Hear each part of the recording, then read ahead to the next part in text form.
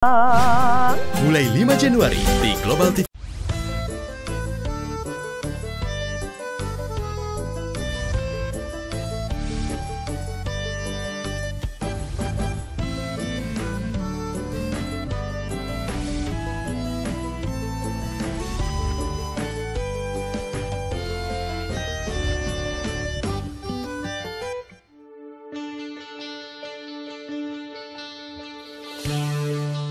Jauh dari Zurich, sekitar satu jam perjalanan menggunakan kereta, sebuah kota yang terkenal dengan kejunya dan perlu untuk kamu kunjungi adalah Appenzell.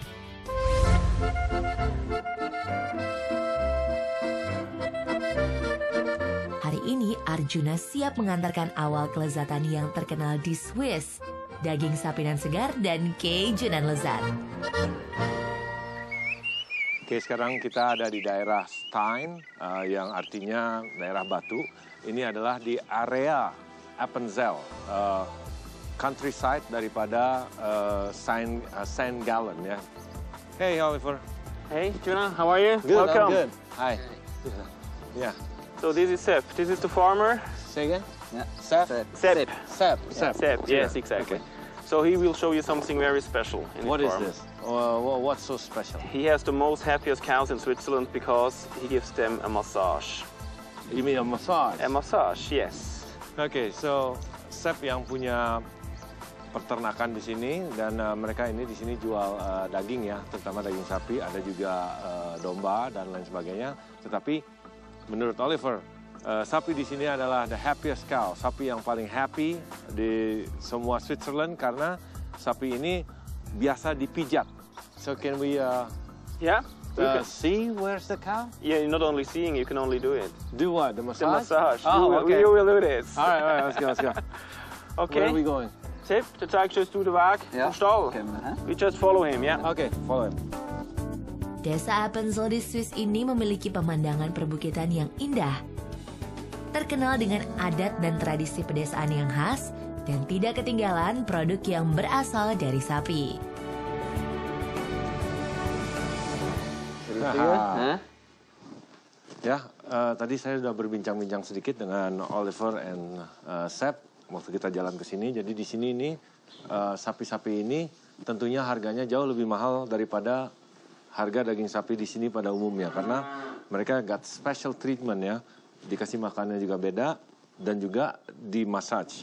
Nah, di sini ada similarities dengan Kobe beef yang kita tahu Wagyu dari Japan, tetapi di Switzerland ada peraturan bahwa animal rights and stuff like that gitu tidak boleh mereka di cages mereka harus bisa jalan-jalan tetapi memberi makannya hampir sama dengan banyak mineral dan vitamin tambahan ya jadi ini eh, dikasih makannya adalah ampas dari proses pembuatan bir tetapi bukan birnya ya ampasnya kita sebutnya malt barley and wheat ya. Tapi untuk mendapatkan malt itu adalah hasil proses dari barley which is jelai atau wheat gandum setelah diproses dipanaskan dengan air 30 derajat Celcius dan lalu dikeringkan itu menjadi malt. Nah, itu tadi yang awalnya. Are you gonna show me how to massage? Yes. Du zeigst Yeah, it's okay. Yeah. Sure. Yeah. Yeah. Okay. So let's go. How- What, what do we need? huh? Okay. Need You will, boots? you will get some boots, Oh, yeah, and yeah. then uh, you have to go inside here. I'm I'm gonna go inside. Yes. Oke, jadi sekarang saya akan ganti sepatu boots ya. Biasa boots hujan kuak kuak kuak kalau masuk air dan akan masuk ke dalam kandang sapinya dan wow, we'll see. Massage.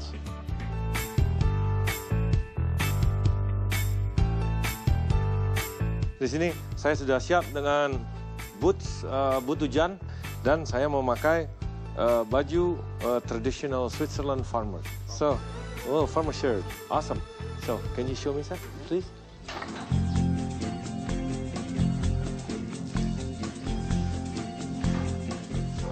Das ist, äh, einerseits ist es für das Wohlbefinden der Rinder. Die Rinder haben das auch sehr gern. They, they really like it. Dann ist äh, Bierhefe ist aber auch ein haarpflegerisches Mittel. Also mit dem tun wir auch die ganze Fellpflege sicherstellen. Wir kennen auch Bier-Shampoo. Oder Bier ist auch in der Kosmetiklinie eigentlich, wird das auch viel verwendet. Ya, jadi bisa dilihat ya. Um, sapi-sapinya itu ternyata memang senang juga di massage ya. Eh, cairan tadi itu bagus buat furnya, buat bulu-bulu sapi ini. Karena dari cairan tersebut juga biasanya bisa dibuat shampoo, which is ini jadinya kayak seperti sampo daripada eh, bulu-bulu sapi ini. Saya akan coba pijit. So where do I go? This one? Kannst Maybe, maybe oder yeah. auch. or, or maybe here. Tidak kalah dengan sapi di Jepang, di Kabir Farm ini sapi-sapi juga mendapatkan pelayanan spesial untuk mendapatkan hasil daging yang sempurna. Sapi yang diberi makanan spesial berupa ampas bir dan dipijat ini terbukti menghasilkan daging yang lezat dan tekstur yang lembut serta bernilai jual tinggi. Satu bagian lagi dari sapi yang sangat populer here in Switzerland adalah cheese ya dari susunya di mana kita akan coba lebih gali lebih dalam lagi how to make cheese in Switzerland and what's the best cheese keju yang terbaik berdasarkan regionnya. Oke, okay? so I'll see you there.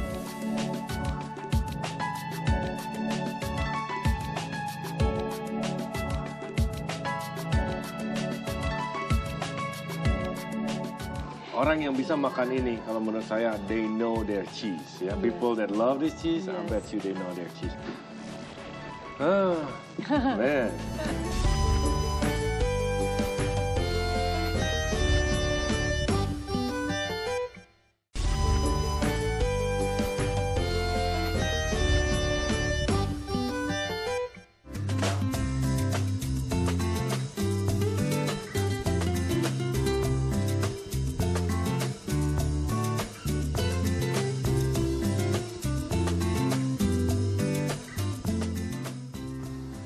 Oke, sekarang kita udah tiba di uh, Appenzeller. Jadi um, daerahnya areal masih di Appenzell dan ini adalah tempat pembuatan uh, the best Swiss cheese yang uh, Appenzeller cheese actually ya. Di sini akan dijelaskan gimana cara membuat uh, cheese tersebut, cheese uh, wheel yang besar itu sebesar 7 kilo dari um, region sini Appenzell dan uh, Oliver akan menjelaskan uh, well introduce me to the lady here, right? Yes. Yeah. So we'll see. Let's go.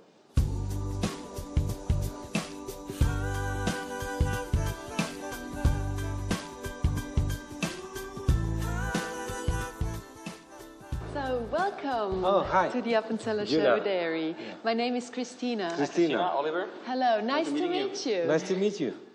So he wants to learn something about your cheese. Okay. Can you tell him some some secrets, maybe? Ooh, this is very difficult. But we But- could start with the cheese production Yeah, production you just if you, you, like. you, you can um, kind of guide me like what process is that? What process is this? Is that is Mm-hmm. Yes. that cool? yes, of course. I could show you because it's a show dairy. It is, it is. Okay. So, please follow me. Jadi di sini memang pabrik pembuatan cheese dari dia masih susu sapi menjadi uh, cheese wheel ya yang besar itu. Um, selain dia produksi, memang ini didesain untuk uh, menarik turis ke daerah Appenzell ini. Ya, jadi memang banyak tadi saya juga lihat ada bus-bus untuk turis melihat di sini proses pembuatannya. Oke.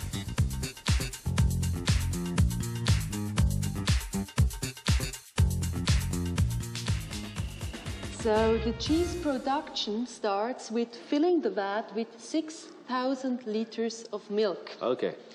and out of which we produce about 80 wheels of cheese of 7 kilos each. How many times a day you fill this up?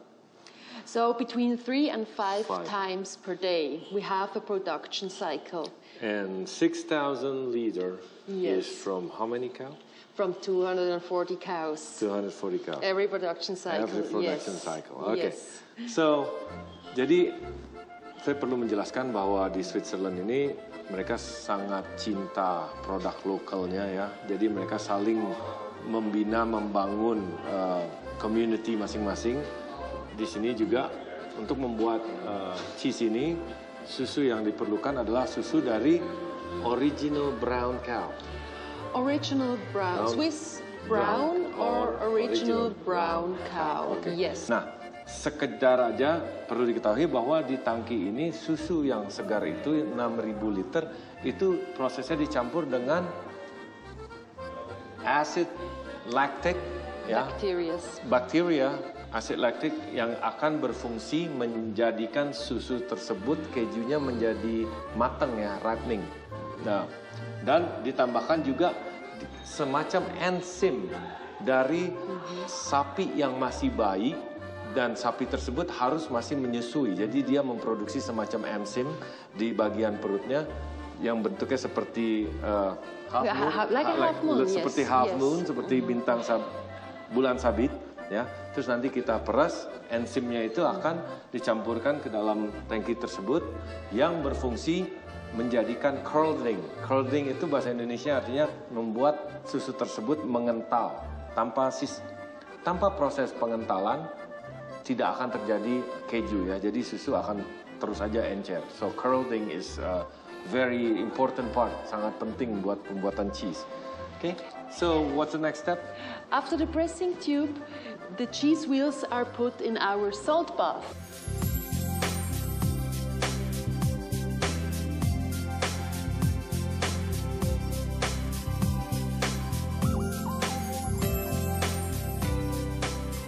So, jadi sekarang kita akan langsung aja karena saya nggak sabar ingin mencoba lima macam dari Appenzeller cheese. Oke? Keju khas dari daerah Appenzell Swiss ini memiliki resep turun-temurun dari 700 tahun yang lalu. Ciri khas keju dari Appenzeller ini memiliki warna kekuning-kuningan dengan lubang kecil dan kulit buah emas. Memiliki aroma yang kuat dan rasa yang berbeda. Dari yang ringan sampai yang tajam tergantung dari usia keju. Oke, jadi di sini sudah disiapkan. Here, um, Appenzeller cheese ada lima seperti yang saya katakan tadi. Um, setahu saya, based on my culinary uh, experience, um, mencoba cheese, merasakan cheese atau cheese tasting itu selalu dimulai dari yang rasanya uh, mild atau lembut yang tidak terlalu pungent sampai yang rasanya strong yang keras bisa asin dan sangat aromatik ya baunya itu. So is it always the softest is the mildest? Yes, of Okay. course. So we should try from here. Yes, go on. Just Take it like This is just Yes. the description of the cheese. All right. Yes. so enjoy it. Appenzeller Classic. Classic ya, mild cheese dan uh, umurnya tuh tiga bulan dan is one of the best Swiss cheese ya. One of the great Swiss cheese Oh. specialties, yes. Not just the best, but one of the greatest Swiss cheese specialties ya. Di sini juga saya tidak, I'm, I'm in awe ya, tidak ada kata-kata yang bisa saya ucapkan karena enam bulan dia bentuknya seperti ini dan 6 sampai 8 bulan umurnya itu sudah berubah menjadi so this is 6 to 8 months. Yes. So asin, ada asamnya, and they call it spicy, you know. So um, aromanya juga tercium dan you know people that orang yang bisa makan ini kalau menurut saya they know their cheese ya. People that love this cheese, I bet you they know their cheese. Ah, man. I'm so happy, yes, I'm oh so happy. I'm so happy that it happened this way. Oh, So, Tuna, I would like Oh. to introduce Farah, the Farah, cook. Farah, Hi, Juna. Tuna. Nice Pleasure. to meet you. pleasure. So um, we are going to cook right now. Yes, we are going to cook some cheese macaronis. Okay. And Oh, cheese uh, macaronis. Yes. And that cheese you're using is the Appenzeller Surchois, the four months old. Sursoir, the four months old. And then, um, can you explain to me what is this? And this is some special Switzerland cake, and Yeah. you eat it with uh, white cream, and it's on it is a white You put- and yeah over with egg and white, and then you do it upstairs and downstairs. You have with pear and nuts, Oh, pear and some nuts, and okay. much sh- sugar. Oh, sugar. Yeah. Okay. It's called Schlotziflade, and it's Schlotziflade. one specialty from this area. Mhm, It's a dessert. Di sini saya kayaknya dikerjain sama mereka dan harus uh, memasak, which is uh, mereka sudah menyediakan macaroni, ya, and cheese, of course, Appenzeller cheese yang ini yang um, empat bulan um, umurnya. Ini kita aduk dulu sedikit supaya agak lebih hangat. Tapi jangan sampai liquidnya itu habis.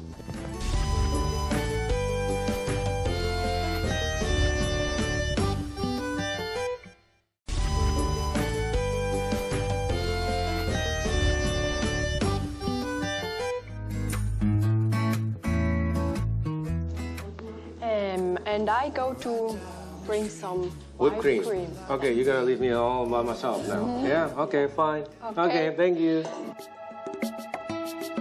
So, jadi prosesnya saya akan supaya ini cepat, saya akan marut dulu semuanya, ya.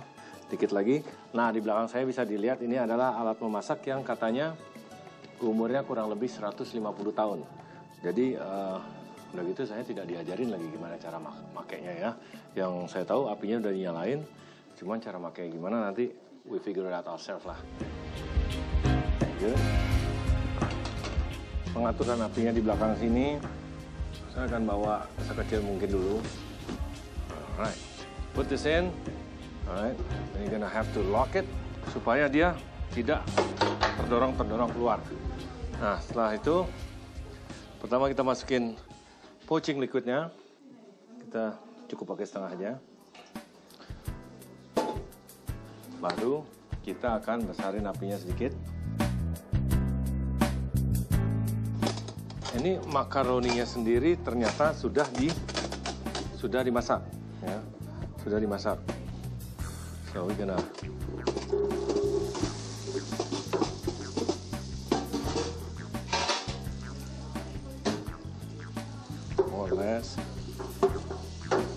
aduk dulu sedikit supaya agak eh, hangat ya, lebih hangat. Tapi jangan sampai liquidnya itu habis ya, masih ada liquidnya. Ya. Oke, so now langsung ini adalah liquid yang campur dengan eh, cream actually, cream yang sudah dicampur dengan cheese, di melted dan eh, some herbs ya.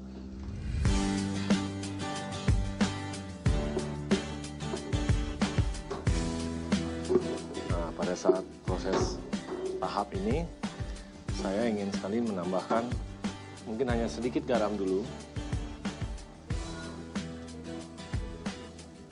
Dan tentunya kita ada lada. Aduk lagi sedikit. Dan now saya akan menaburkan cheese yang tadi. Nah, jadi gunanya cheese ini adalah eh, tentunya rasa dan dia akan mengikat ya. Ini semua jauh lebih kental nanti jatuhnya. Nanti setelah dia meleleh, lumer, dia akan mengikat. Harus sabar ya. Biarkan si keju-keju ini mulai meleleh.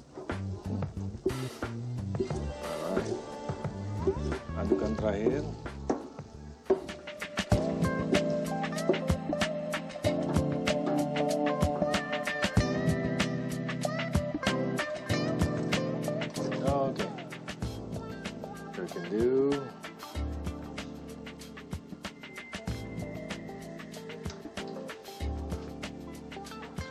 Oke. Sini ada bawang, fried onion. Jadi eh, gunanya bawang ini adalah supaya tidak terlalu enak ya, matah dan menambah rasa juga tekstur yang crunchy. Oke. Oh, you got the whipped cream? Yes, and how's the cooking? Cooking awesome. It's just it's hot, yeah, big fire. So, Yes. well, whew. so, so how we gonna taste this?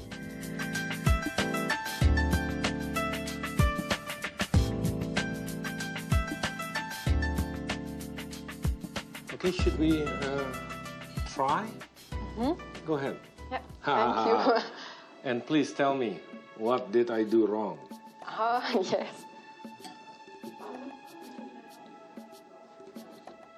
Mm, Yeah. Mhm. Good. You sure? Mhm. You sure? Let me get Yep. some. All right.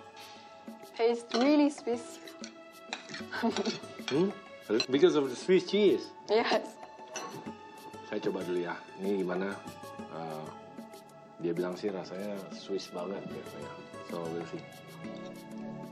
I feel home. That's good though. Thank you. So, jadi menurut Chef Farah, hmm, rasanya Swiss banget ya. Uh, which is, uh, I didn't do a lot of job here. It's all the, the cheese do it works, you know. Jadi saya bilang di sini tugas saya memasak tuh sebenarnya sangat sedikit ya, very minim karena hmm, semua rasa ini adalah rasa original dari Swiss cheese yang tersedia yang tadi dikasih itu. Oke. So jadi emang di situ rasa utamanya tentu pasta adalah uh, makaroni yang untuk menambahkan karbohidratnya dan di sini sudah disiapin mereka uh, fried onion. Fried onion ini menambah rasa pahit-pahit sedikit tapi ada manisnya ya dan ini juga akan cut atau memotong daripada rasa uh, mahtehnya rasa enaknya karena ini kan banyak keju di dalamnya. Let me try that one first. Oops. Jadi sini bisa dilihat memakan kue apa sih? Florsy flauda. Schlotziflade, ja. Slotsi flauda, makan kue slotsi flauda yang tradisional dari Appenzell area ini memakai whipped cream. Whipped cream ini is not sweet ya, the whipped cream, No. just regular whipped Yeah. cream. So jadi kita punya heavy cream atau orang bilang double cream or whipped cream itu memang berupa cream liquid ya. Lalu kita whisk, kita aduk terus, whisk, kita memompa udara ke dalamnya secara tidak langsung dan inilah yang terjadi. Oke. So let me ya eh, kue ini atau saya sebutnya semacam pie ya. Dia emang terdiri dari lihat eh, buah per, tentunya ada gula dan ada kacang-kacangannya juga ya.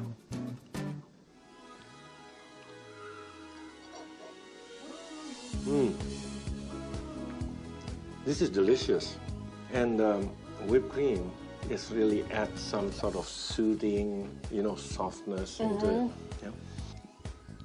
Gunanya si whipped cream ini dipadukan langsung dengan kue ini, ya, dia menambah rasa lembut yang langsung tercampur di dalam mulut kita, di palate kita ya. Jika buah per tersebut terlalu asam atau campuran ini semua terlalu manis, whipped cream ini akan melembutkan apa yang terlalu tajam, rasanya terlalu tajam.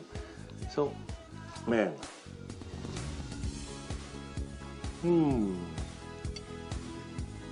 you guys should try this. Kalau sempat memang mampir ke Swiss, Appenzell, you have to try this. Oke? So.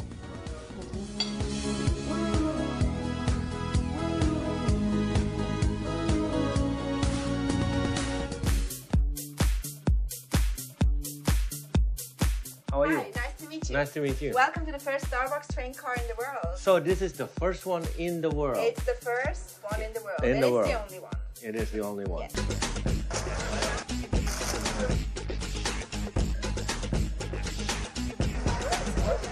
Lemon. Yes. Thanks. So, kado, kado, kado. Thank you.